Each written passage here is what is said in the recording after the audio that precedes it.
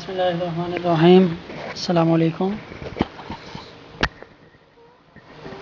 आज जो मैं रेसिपी बनाने लगा हूँ, रेसिपी बोलें आप इसको, मैं एक सिंपल से एक सिंपल सा एक जूस बनाने लगा हूँ, फालसे का जूस। यूनिक रेसिपी है, किसी ने नहीं बनाया हुआ आज तक। मैं इसमें चार इंग्रेडिएंट्स ऐड करूँगा, फालसा, चीनी होगी, रेड सिरप, शरबत, कोई सा भी ले लें रूअफ़ज़ा जाम शीरी, नौरस, कोई सा भी ले लें आप, और काला नमक। ये चार चीज़ों से मैं आज फालसे का जूस, बेहतरीन जूस बनाने लगा हूँ। रोज़े के बाद ईद में हर वक्त आप इसको बना के रख सकते हैं। इसको ज़्यादा स्टोर नहीं कर सकते। ये खटास मार जाता है ये। चलिए हम चलते हैं रेसिपी की तरफ़। ये मैंने लिया है आधा किलो फालसा। इसको मैं एक ब्लेंडर में डाल रहा हूँ। ये इसमें इसमें मैं आधा किलो फालसा ऐड कर रहा हूँ।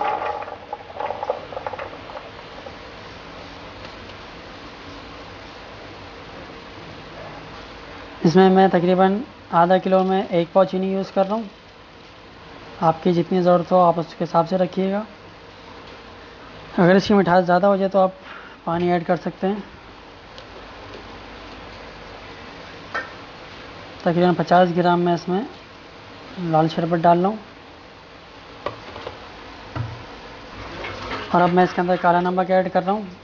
हाफ़ हाफ़ टी स्पून अब इसको मैं ब्लेंड कर लूँगा। इसमें थोड़ा सा पानी ऐड कर लें आप, ताकि ये अच्छी तरह ब्लेंड हो जाए।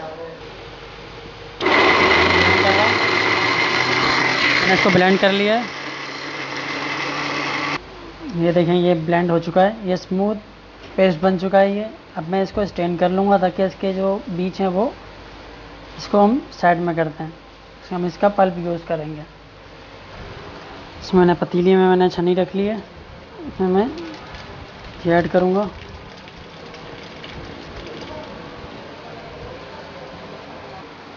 ये हमारा फालसे का शरबत रेडी है।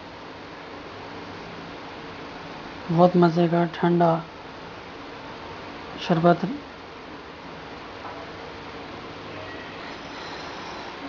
ये प्रेजेंटेशन इसको ज़रूर ट्राई करिएगा सिंपल छोटी सी रेसिपी है। अपना ख्याल रखिएगा, अल्लाह हाफिज़।